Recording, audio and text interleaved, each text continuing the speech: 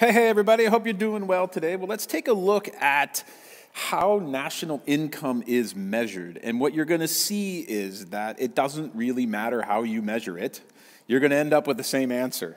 And that's a strange way of starting off a video. But I want you to think about measuring GDP, which is what we're talking about here, national income, as, as kind of like a carpenter who has like three different ways of measuring how long something is.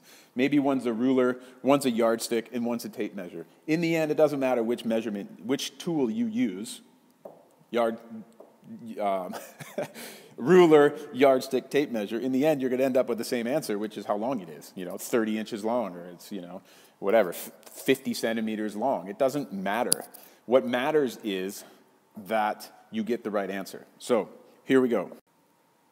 First of all, the, the most commonly used measure of a country's national income is something called the gross domestic product, or GDP. You may have heard of this before, but there are two main ways of thinking about gross domestic product. Definition number one Gross domestic product is the total value of all final goods and services produced in an economy in a given year. Okay, so you figure out the value of all of the goods and services. What's the value of a public school edu- or a private school education? What's the value of a water bottle? What's the value of an iPad? What's the value of the key you just had made? A book, a table, um, a backpack, a chair? It doesn't matter. What's the value of it? And you add all that up, and you end up with the gross domestic product. The other way of thinking about it is GDP may be defined as the total of all economic activity in a country regardless of who owns the productive assets. So, what does that mean? It means that you take the total activity, economic activity in a particular country, and you add it up. And there's different ways of adding it up or measuring it, which is what this video is going to be about. But I want you to think about the word gross domestic product, okay? Gross just means total. So the total value of the product, so the total products made domestic in your house. Okay? So it's super easy, really. Gross domestic product, the total value of the products made in your particular house. In this house, and what's your house? Well, that means country. Okay? So every country, I spelled it wrong, is going to have its own domestic gross domestic product. And it doesn't matter who owns, this is really important, who owns the productive assets. And what that means is that it doesn't matter who owns the company. So I live in Santiago, Chile, and Nike has an, a store here in a local mall. So whatever happens in that mall, whatever Nike sells, happens in Chile, in the house of Chile, in the country of Chile. So those that economic activity that happens at Nike is going to count towards the national income of Chile because it has to do with the gross, the value of the total products that the total economic activity in the house of Chile. Now, that's different than gross national product.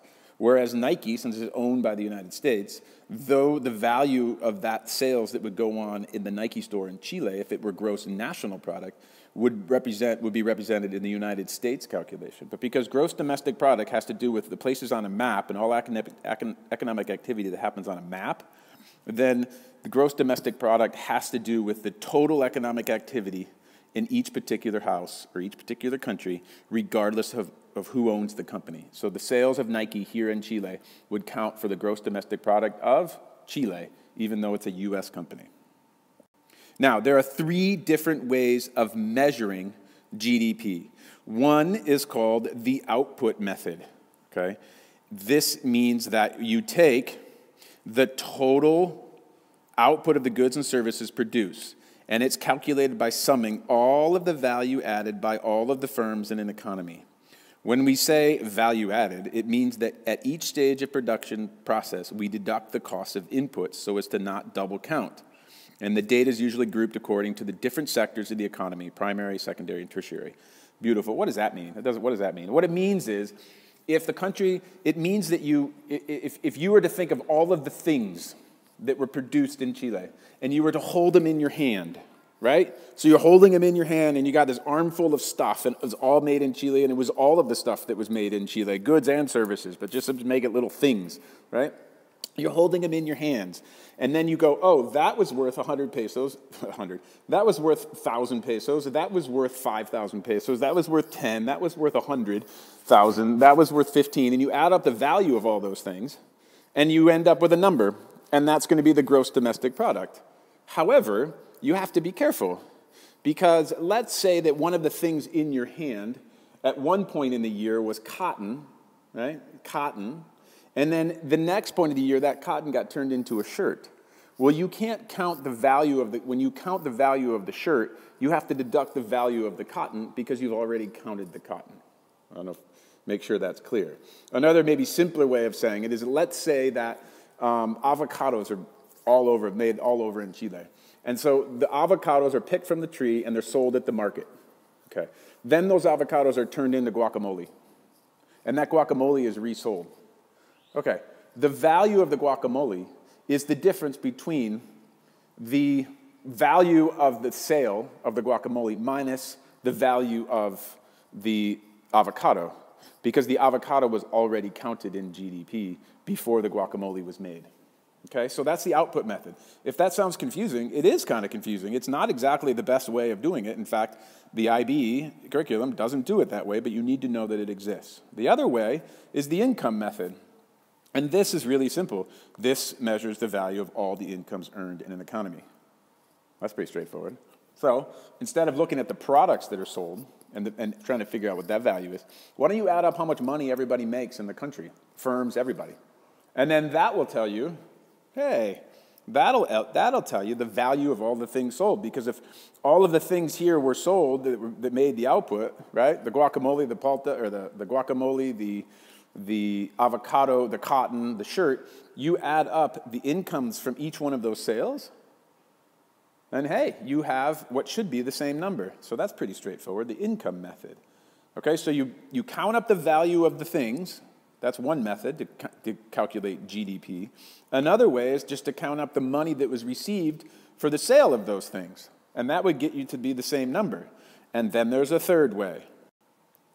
It's called the expenditure method. You count up how much money is spent.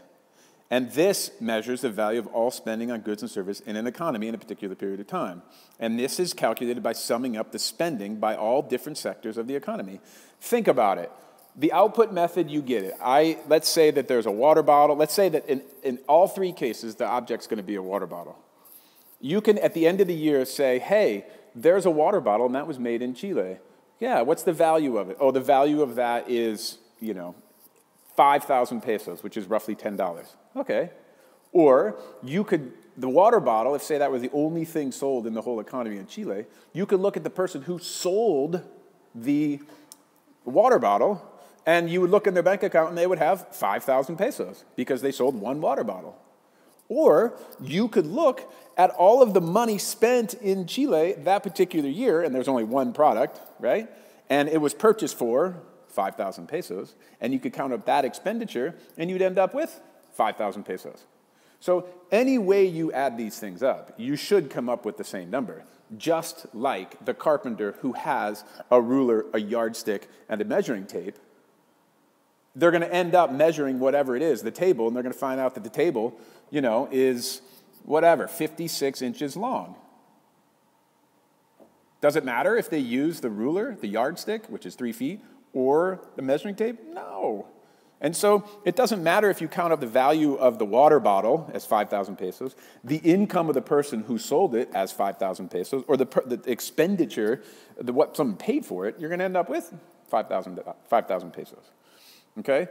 So the expenditure method is the easiest, right? And you can, because you can break down the different segments of society. The first one is households.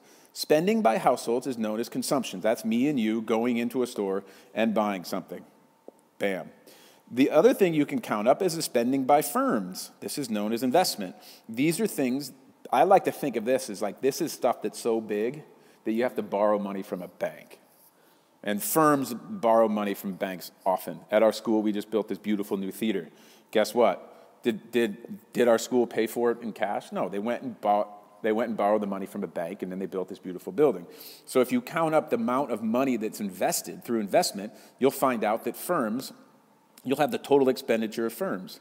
Then you go and you calculate out, well, how much money did the government spend on everything? Paying the cops, paying teachers, paying the military, building roads, building bridges, um, um, paying civil servants, uh, paying electrical bills at all government buildings. That's all government spending. You add up the spending by government, and you will, um, you will have a certain segment of society in terms, you will, you will have all government spending. Okay? And then the last thing here is the spending by foreigners on exports minus the spending of foreigners on imports. And that's called net exports. Oh, what does that mean? Well, it's pretty simple, right? I live in Chile. Let's say I buy uh, a guitar from the United States, and my money that I earned in Chile leaves Chile and goes to the United States.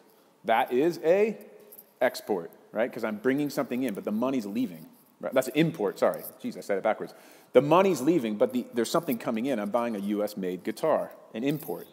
The opposite of that, of course, is if somebody is in the United States and they buy a backpack made by Doite, which is a very reputable Chilean brand of outdoor gear, and they, um, they send their dollars that are earned in the States and they come into Chile.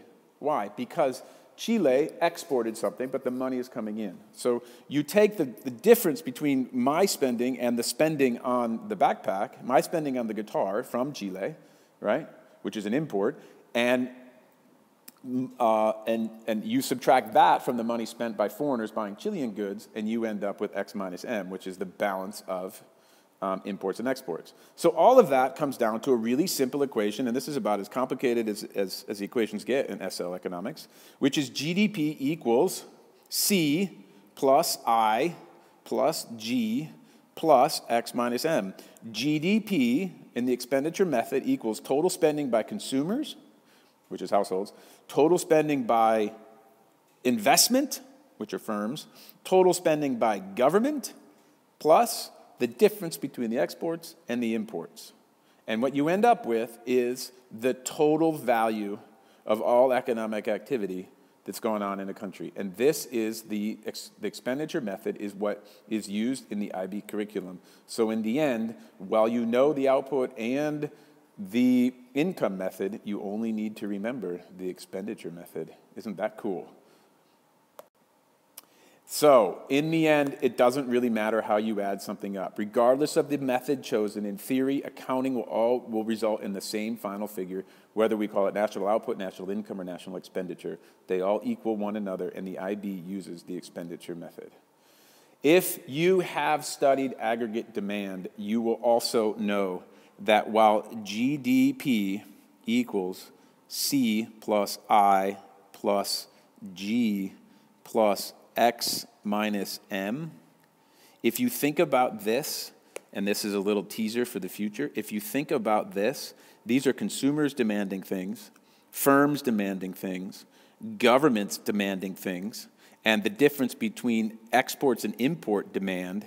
And guess what you come up with? Wow, you come up with the total or aggregate demand in an economy. Ding, ding, ding, ding, ding, ding, ding, ding, ding, ding, ding, ding. That is majorly huge connection. So aggregate demand equals C plus I plus G plus X minus M because that is the total value of all things spent in a, in a, in a particular country in a particular year. Well, that's the same thing as GDP, is the gross domestic product the value of all economic activity if calculated through spending. There's a teaser, my friends. I hope you found this video to be helpful. We'll talk to you in a bit.